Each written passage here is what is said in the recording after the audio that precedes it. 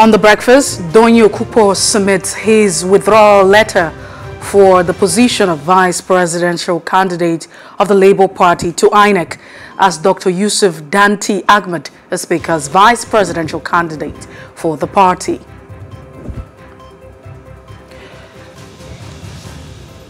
Also on the breakfast, Super Falcons lost to the South African side in their opening game of the African Women Cup of Nations 2022. We talk with a sports journalist.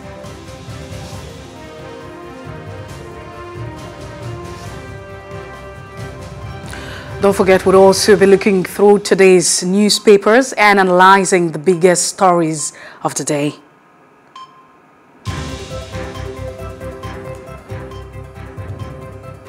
Welcome to The Breakfast and Plus TV Africa. It's a beautiful Friday morning right here in the city of Lagos and the queues have actually returned and you know what that means.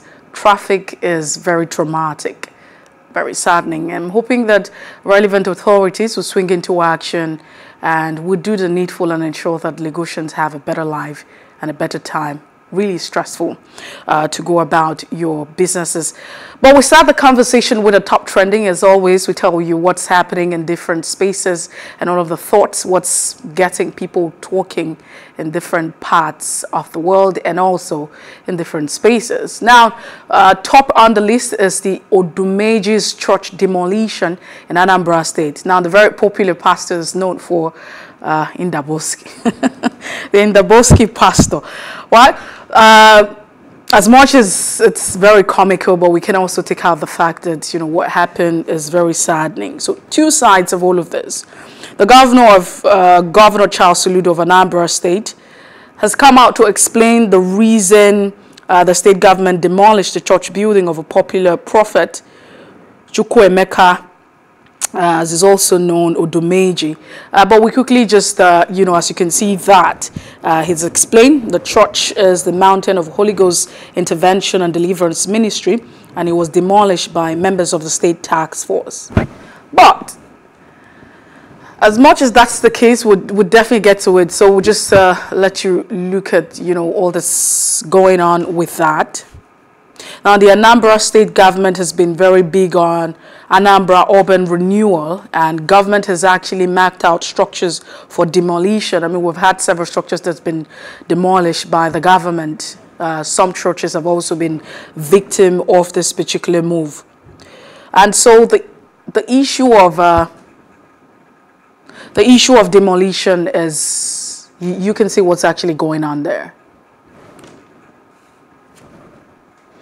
Uh, we're hoping to, you know, have a perfect audio to that, but unfortunately that's not happening.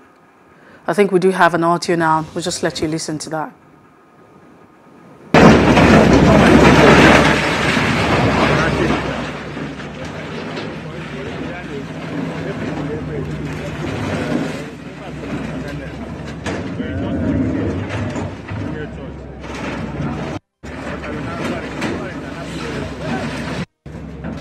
That's the older man. Yeah. It's about this height.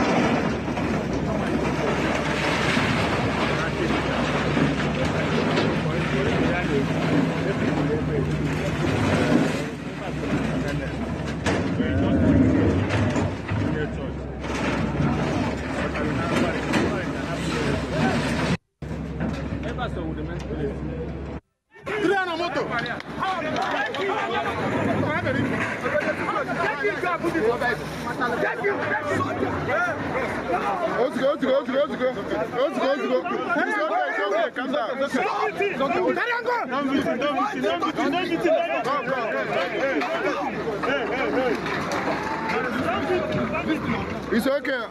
Well, you can see, uh, you know, from the video, the entire process of demolition that took place right there in Anambra State. You have the state tax force. Like I rightly mentioned, the government has embarked on demolition, and this is actually a national issue because if you move across different parts of the nation, you have uh, government, you know, embarking on the project of crushing buildings that are encroaching on the waterways mostly. But one thing that stands out from that particular action is the fact that uh, the pastor has been assaulted, not necessarily because he's a pastor. I mean, the Constitution of the Federal Republic of Nigeria, it states that uh, we all have a right to life and dignity. And so it is very um, dehumanizing. It is, it, is actually very uncivil in the course of carrying out uh, duty as a people. And that has constantly been uh, the major, major concern for the Nigerian police force and every other relevant authority that has been saddled with the responsibility of enforcing uh, obedience or ensuring that policies are implemented. We talk about the mode of operation, modus operandi. It is very, very condemnable. Uh, I mean, how do you treat a fellow human like that? Uh, no one is actually guilty until they have been proven, I mean, innocent. Whatever the case is, be it uh, a criminal, be it the suspect, whatever it is. But in this case, uh, what a lot of Nigerians have reacted to, not that, you know, the issue of demolition is a major issue, but how uh, Odumeje has been handled. You could see the assault on him, and that actually contravenes the constitution where there's no respect you know for his life as a person because he has a life uh, a right to life and also you know, dignity and to be treated as a person, as a human. And it's, it's, it's a major uh, concern. We're hoping that uh, the security agencies, there are security agencies, and the security personnel would understand that the Constitution is what it is, that we will be humanistic in our endeavors as we go about our businesses every day trying to implement and do our jobs. It's okay, you want to demolish, but do you have to treat him that way? It's very condemnable, it's wrong, and we are hoping that the law would take its course and those responsible will be punished.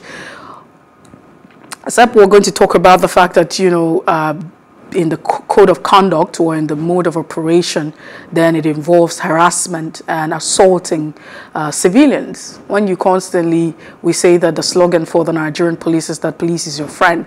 So when you look at that video, uh, of the task force. It's a combination of different forces. You ask yourself, does that look like a friendly gesture and act? Very saddening. But still on the issue of the church demolition.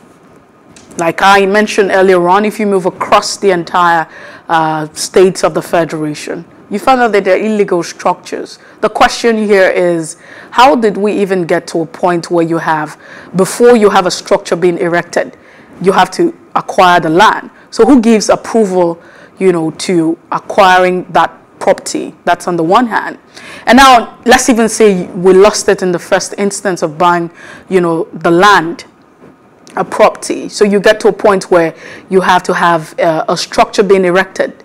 Now, how do you explain the fact that you have an urban planning, you have a department that's saddled with all of the responsibility to ensuring that, uh, you know, owners of properties do the right thing? So uh, how do we even get to the part where uh, this structure is erected on water channels and, you know, very, very sensitive areas? Uh, who gave the approval for this structure to be erected? Some people have said that the corruption that actually manifests itself in these agencies and, and government parastatals is responsible. The level of awareness, how many property owners are aware of the National Code of Building? We need a lot of awareness and uh, sensitization as regards owning of property. But that's it on that, Odumeje. Uh, it's really sad and no one deserves that kind of treatment, no matter the circumstance.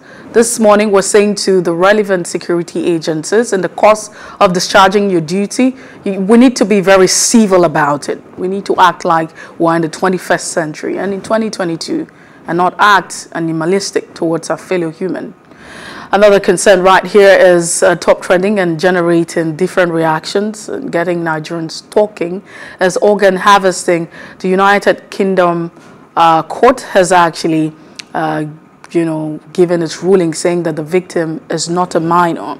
So uh, July 7th was actually slated as a date for a first hearing after the former Senate president and his wife Ikekwe and Beatrice uh, were remanded in the prison.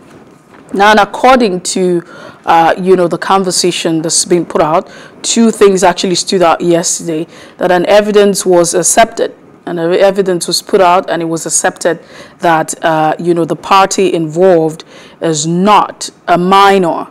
So yes, the Uxbridge Magistrate Court in the United Kingdom had ruled that the kidney donor in a Madu's case is not a minor and both had appeared before the court and pleaded not guilty to the charges. I mean, these are evidence that were being put out, and uh, it, it was accepted. But aside that, uh, there's something that was also very, very interesting and that stood out. It's something you want to say uh, some sort of protest. And in that kind of protest, because it's a public issue, uh, a lot of persons are very interested in this particular case. But really, really outstanding is you could see um, some boards that were being put out just at the entrance of the court. The UK is not Nigeria, take it back. I mean, the UK is not Nigeria. Organ harvesters must be prosecuted. And on, on top of it, you find take it back. Another part talks about, you also find another boards that were just uh, different. After destroying our healthcare system, Nigerian leaders regularly travel abroad for medical help. Buhari, stop wasting Nigeria's money on medical tourism. You are a failure.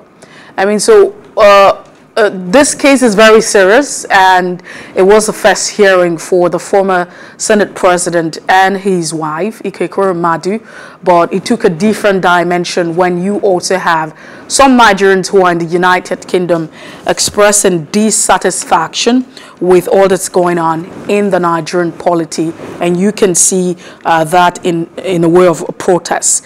Now there also will be uh, an adjournment of that particular issue uh, the hearing, uh, they were remanded. That's also another outcome in prison. And August the 4th would be another time uh, where you have another opportunity. So it, it's a good thing because uh, the argument was back and forth the first time this case was on, uh, whether he was a 15-year-old, and constantly the United Kingdom had claimed and constantly reported that he was 15, even when we had different reports coming from Nigeria that he was 21.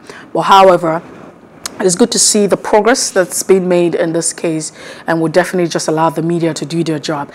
Now, moving away from that, something very, very uh, shocking and very, very scary happened in Lagos yesterday where we saw a video that went viral of a naked woman uh, who hijacked the fuel nozzle and she sprayed uh, petrol as a PMS on customers and those around. It was really, really worrisome.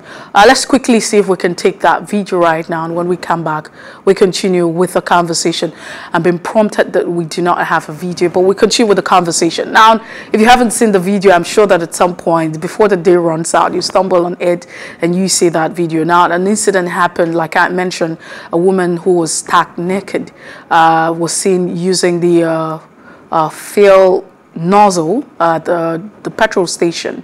It's happened somewhere around Ikoyi in Falomo, very popular uh, fueling station right there. And one thing that stands out is that uh, is the bravery of the people that were around. It, it's a disaster that was averted yesterday, and kudos to everyone who was around who helped stop all of that incident. The story quite not very detailed because, I mean, how do you explain where did she come from? You see a video, but not very sure whether she came from a car, if she was strolling, or, you know, someone dropped her. Where did she surface from is one question. But, like I mentioned, most importantly is the fact that an ad, uh, unfortunate incident was averted yesterday and we say uh, thank you to everyone who was around and helped stop that particular situation. But what cannot also ignore and turn back from the fact that, I mean, it's just very, very eminent that what happened was a case of uh, someone who is not mentally stable. It's, it's, it's, it can't just be uh, a case of mental illness or frustration, whatever the case may be. But I'm saying that for everyone that was around yesterday, you did very great and we say thank you for your efforts. That's so much we can take this morning on our top trending. We'll take a break when we return. We'll be looking at our pages this morning, front pages of our national dailies. Please stay with us.